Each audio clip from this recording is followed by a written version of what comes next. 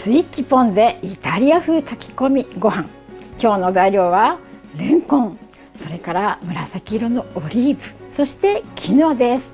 さてキヌアって何だろうと思ってる人もいると思うけどね秋ならではの美味しい炊き込みご飯を作りましょう。まず材料。ねこれレンコン。もう今美味しいレンコンね。そしてこれねもう熟したあの緑じゃなくて本当に熟したこうオリーブ。それからあこれなんか最近種抜きで売ってて嬉しいのね。そしてこれキヌアと言います。雑穀南米のインカの主食として長い間もうね歴史の彼方に消えようとしていた。こう2000年2001年に向けて2000年末頃に発掘された雑穀キヌアです。そしてこうこれを使って今日はイタリア風の炊き込みご飯というのを何しろね。入れたら終わりだから。切って入れたらもうおかずいらず。はい。やってみましょう。じゃあレンコンね。レンコンって節のところがね結構喉まず喘息とか気管支炎とかなりやすい人あるいはこう風邪で喉が痛くなりやすい人とかは何しろレンコンをねいい時期にはもうせっせせっせとレンコン食べて。それからレンコンってもう一つ良さがあるの。これほら穴開いてるでしょ？なのでこの穴が開いていることによってビュってこうなんていうの私たちの、ね、血管とかあのリンパ管とか私たちで管だらけなので腸とかねいろんなところの張りを良くしてくれるというすごいこうあの薬効の多いねで美味しくて歯ごたえ感と歯ごたえシャキそしてもっちり感。あこれね出来上がったらわかるからいいや早く切ろう。でこれを切ります。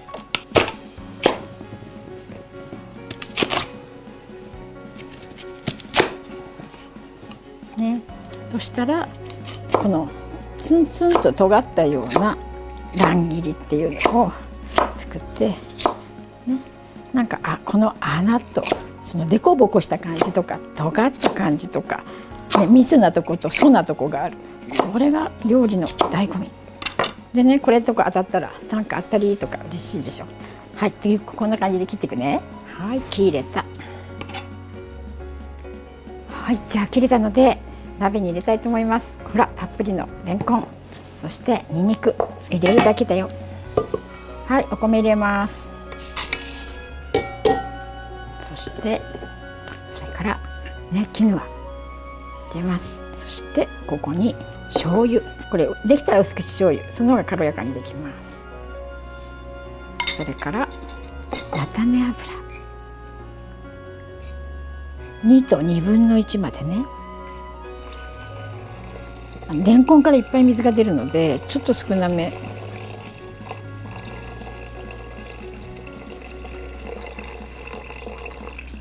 2と2分の1合のところに入れます。でにんにくも入れて。入れます。このコツはレンコンに塩と油をまぶすということなのね。で塩がを小さじ2杯。小さじ2杯の塩をまぶします。それからオリーブ油。ねイタリアなんでちょっとね今回こっちでオリーブ油。いっぱい。はい。これで混ぜ混ぜます。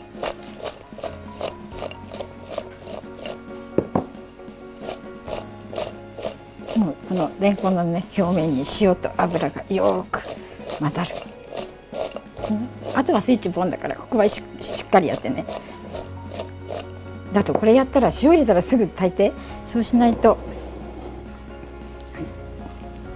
漬物になっちゃう。でこのね塩レンコンとこのヘラでちゃんとこのうまみを入れてレンコンをかぶせるように入れて炊きます。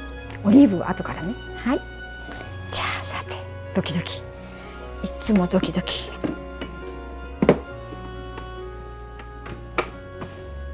はいどうなるかな？これで。お楽しみに。あどんな感じかな？毎回ドキドキ。あー美味しそうに炊けてる。たらねここにね混ぜます。ねふわふわ。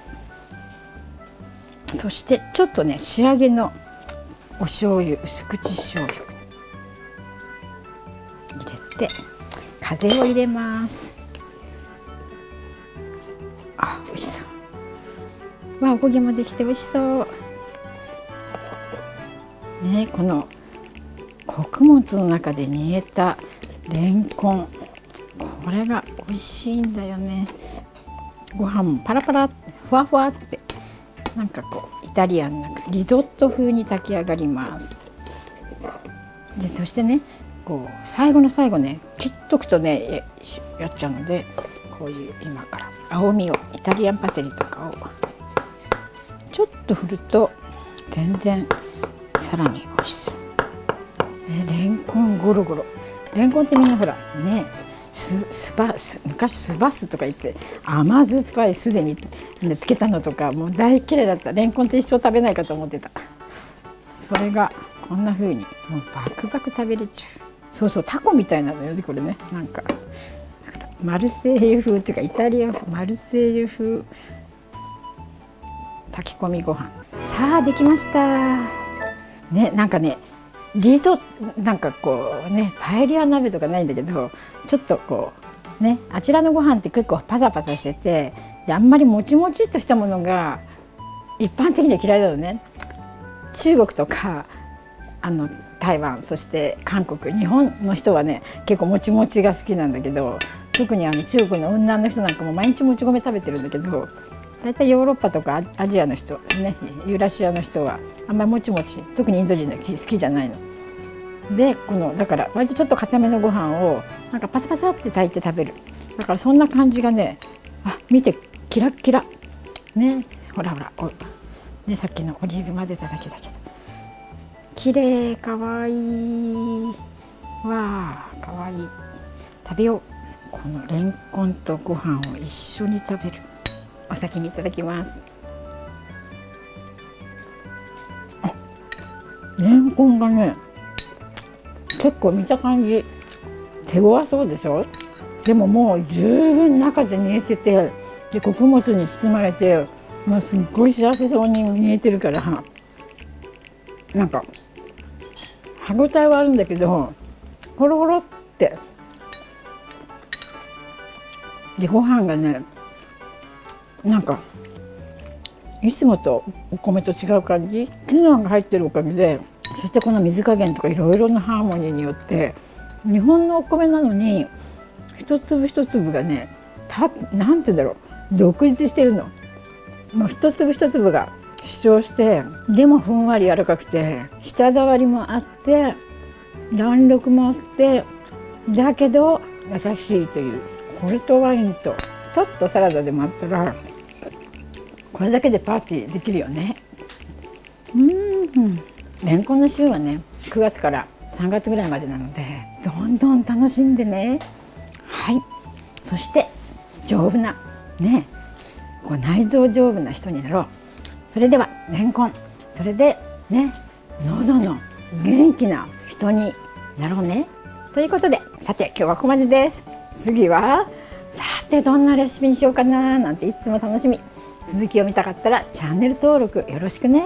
そして高評価ボタンもポチッと押してね。それでは次の動画でお会いしましょう。